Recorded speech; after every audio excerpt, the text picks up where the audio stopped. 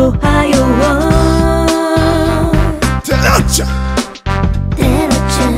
この時間は雑誌週刊文春電子版統括編集長村井源さんに今週発売された週刊文春から記事をご紹介いただきます。村井さん、おはようございます。おはようございます。よろしくお願いいたします。今日もよろしくお願いいたします。村井さんが編集長を務めます電子版週刊文春の記事を一日早く読めるんですよね。はい、えーはい雑誌が店頭に出るですね、前日の正午にはもうスマホやパソコンで最新記事チェックできますので、はい。これいち早く週刊文春読みたいという方は電子版のご購読をお勧めしております。はい、さあそれでは記事ご紹介いたしましょう。まずはこちら。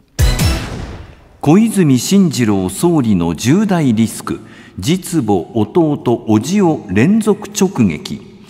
岸田総理大臣の不出馬表明で合法が鳴った総裁選レース。現在11人の議員の名が取り沙汰される中その動向注目されています。その一人が小泉進次郎氏です、えーこれを踏まえるとですねこの記事は非常に興味深いのですが村井さんこちら教えてください。はい。まあ、進次郎さんはね、今回名前が挙がっている中でも、まあ、最も注目されている方と言ってもね、い、いと思いますけれども、ええ。じゃあそんな小泉進次郎氏は総理の重責を担えるのかということを、えー週刊文春が独自でちょっと検証してみたという、まあ、そんな記事になっています。はい。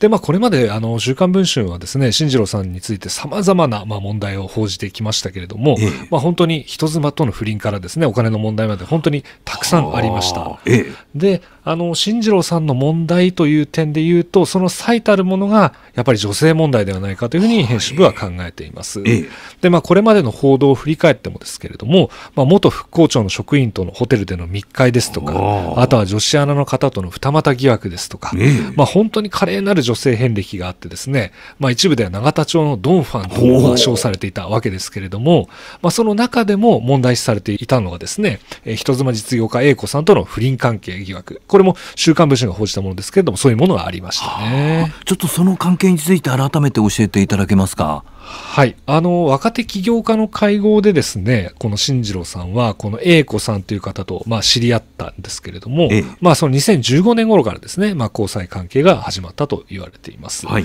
で、A 子さんの夫はですね、早い段階で妻の浮気を周囲に相談していたんですけれども、まあ、相手が誰か分からなかったんだと。まあ、ところがその相手が進次郎さんだと判明し、まあ、ものすごい衝撃を受けたそうなんですね。はいで、一方、あの、進次郎さんにのめり込んでいった A 子さんはですね、夫に離婚を切り出してですね、あの、子供も連れて家も出て行った。そうでしたねか、はいで、後にですね、あの、夫妻は離婚をしています。で、さらに、あの、進次郎さんがですね、A 子さんとの逢瀬に利用していたのが軽井沢プリンスホテルだったわけですけれどもええ、まあ、その宿泊代およそ10万円分を政治資金から支出していたという疑惑も判明していました。ええ。で、まあ、当時のですね、まあ、あの、報道の直後に、まあ、進次郎さん、釈明に追い込まれたわけですけれども、ええ。まあ、この、あの、政治資金からですね、軽井沢プリンスのお金を出していたってことについてはええ、今なお詳細な説明はないのでですね、ないんですね。まあ、これについては、まだ解決しているとは言えないような問題かなというふうには思ってますね。はいまあ、そのお金にまつわる疑惑ですが他にもありましたよね。ありましたね。ええ例えば2019年の12月にはですね、あの、先ほど言ったフリーホテル代の問題と同様に、まあ、不明瞭なポスター代の疑惑について、はいえー週刊文春が報じたことありましたよね。で、当時の進次郎さんのポスターにですね、まあ、あの、注目をすると、ひときわ小さなフォントで端っこの方にですね、千葉県野田市の住所が書いてあるんですけれども、ええまあ、そこに印刷者として M 作りへというふうに印字がなされてるんですね。ええまあ、これあの会社なんのことなんですけれども、このエムズ社にはですね、あの、新次郎さんが代表を務めている選挙区支部とか、あとは先進会という、まあ、あの、講演会があるんですけれども、まあ、はい。そこから多額の支出がありましてですね、その額が7年間でおよそ4300万円にも上っているということがはい。ありました。ええ。だまあかなりのお金がですね、まあ、あの流れているわけですが、ところがこのエムズ社があるところに、あの週刊文春の記者が当時行ったわけですね。ええー千葉県の野田市にある住所なんですけれども、まあ、そこにあったのは、会社というよりはですええ。ね、何の変哲もない単なる一軒家だったそうだったんですね。しかも一軒家にはこの M ズ社の名前は一切書いてなくですね、ええ世帯主の M さんの名前が表札に掲げられているだけ、まあ、すなわち幽霊会社だったということも発覚していますね。はい、まあ、周囲の期待がですね寄せられる一方で疑惑も絶えない小泉進次郎氏ですが今回の記事では小泉進次郎氏に近しい人にも総裁選出馬についてお話聞いてるようですね。はい。まあ、今回、週刊文春の記者かなり頑張ったなと思いますけれども、はい。ええ。まず、進次郎さんのお母さんに直撃しているということと、はい。あとはその弟さんですね、生き別れになった弟がいるわけですけど、まあ、その方にも話を聞いてますし、ええ。あとは、あの、小泉純一郎さんの、えー弟で、まあ、自分にとっては叔父に当たる人ですけれどもええ、あの、純一郎元総理の施設秘書として長らく地元を支えてきた、あの、正也さんという方にも話を聞いてるんですが、ええ。まあ、この方は結構喋ってくださいまして、はい。あの、正直ちょっと煽られすぎだと思うよというふうに話をしていましたね。はい。まあ次の選挙が大変だから選挙の顔として進次郎をなんとかしようとまあしてるんじゃないかと。えで、純一郎さんもね、まだ早いって前からはっきり言ってるしということで、まあちょっとおじさんに関しては、ええまあややですね、ちょっと心配しているふうなことをおっしゃってましたけれども、ええまあ一方であの、生き別れになっている、まあ弟さんとかは、はい。あの、マクロン大統領は39歳で大統領になってるわけだし、みたいなこともおっしゃってたりするので、ええまあいろんなあの親しいね、家族でも思惑はあるんだなということはちょっとそうなんですね。わかりましたね。はい、自民党総裁選どうなっていくのかですね。はい続いての記事はこちら。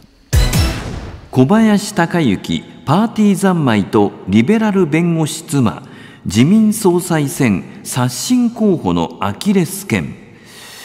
ポスト岸田の有望株として小泉進次郎氏と同じく注目を集めているのが小林孝之氏です。コバホークという愛称で連日メディアで取り上げられています。ここ数日で一気に知名度を上げたといった感じの人物ですが、村井さん、そもそもこの小林氏、どんな人物なんでしょう？はい、党内でね、支持が一気に拡大している、はいあの感じになってますけれども、え改めてこの小林さん、どういう方なのかというのを取材をして記事にしたというのが今回の記事です。はい。コバホークさんはですね、千葉県内のサラリーマン家庭に生まれた、まあ普通の本当に家庭に生まれた方だったんですねええ。ただ一方で、その経歴はエリートそのものでして、はいあの名門私立の開成中高に進んだ後に、そのまま東大の法学部に進学すると。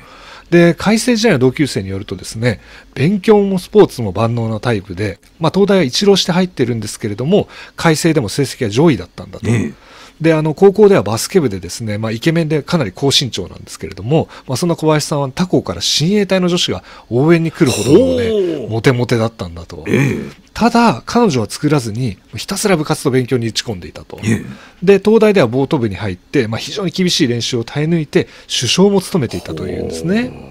まあ、そんな学生時代を終えた小林さんは東大卒業後の1999年に旧大蔵省に入省しています。ねで、その後ハーバード大の大学院にも留学をしまして、はい公共政策学のですね、修士号も取得しているという、まあ、こういう経歴ですね。ちょっと村井さん、経歴が眩しすぎますね。ね、ちょっと自分で喋っててもびっくりしちゃうぐらいのね、ね経歴ですよね。ええまあ努力したんでしょうけどね。えでその小林さんですけどどんな経緯で政界入りしたんですか？はい。あの、政界進出のきっかけはですね、2009年の政権交代。これが、あの、ご自身が政界に入るきっかけだったというふうに語っていますね。はいで、民主党の鳩山内閣の誕生に、まあ、本当に強い危機感を持ったと言ってましてええ、まあ、その後政治家を目指すことになり、2012年末の衆議院選挙で初当選を果たしています。はい。で、岸田政権が発足した2021年の10月に当選3回目にして、えー初代の経済安全保障大臣に抜擢されたということで、ええまあ、この時本当に初めてメディアに注目される存在になったと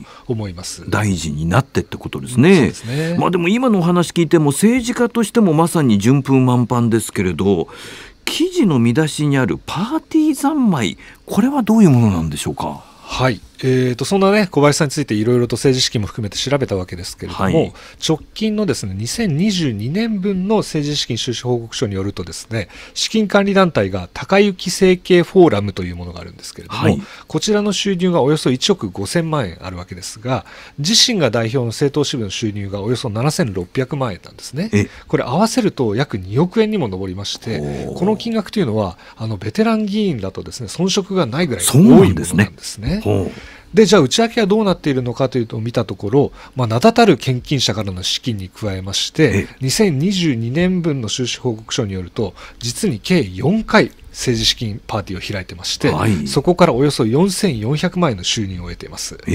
ええで、これ、他の人と比べてどれぐらい多いのかっていうのを、例えばですけれども、同じ総裁選の有力候補とされている石橋茂さん。はい。この方、2022年にパーティーを実は1回しか開催してないんですね。はい。まあ、そういうことに比べると、まあ、4400万円収入を得ているということとですね、この回数の多さをあの踏まえると、まあ、パーティー三昧をしているという、まあ、パーティーがね、まあ、問題にもなりましたけれども、ねえ実はまあ小林さんは実はそういうところから収支、あの資金をあの得ているということは、まあ、事実として分かったということなんですね。はい、まあ、その他にもいろいろ小林氏に関してですね、えー週刊文春に出ております。ぜひお読みになってください。さあ、続いてはこちら。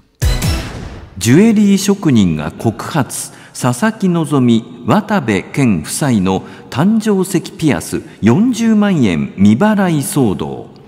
2020年6月週刊文春が報じたアンジャッシュ渡部健テイクアウト不倫、まあ、その後ですね、えー渡部氏芸能活動自粛。あれから4年です、まあ、そんな渡部さんと奥様の佐々木希さんに関する村井さんこれは記事ですね。そうですね。はいまあ、あの問題もね、週刊文春が報じて、相当当時ね、はい。話題になりましたけれども、ええ。まあ、結構渡部さん復活をされていて、まあ、あと佐々木希さんとの関係もまあ非常に良好だということでね、まあ、ええ。結構あの言われていますけれども、ええ。実はその渦中に夫妻とですね、の、あの、ある人との間で深刻な金銭トラブルが起きていましたよという、まあ、そういう記事になっています。はいで今回あの取材に応じてご自身の被害を訴えているのがジュエリー職人の A さんという方なんですね。はいでこの方はですね渡部夫妻と出会ったのはあのテイクアウト不倫の発覚後なんですけれども、はい渡部夫妻は A さんの作品について事前にまあ聞いていたようで、まあ、会った際にですね、まあ、こういう指輪を作ってほしいということで、まあ、かなり細かいオーダーを受けたそうなんですね。ええ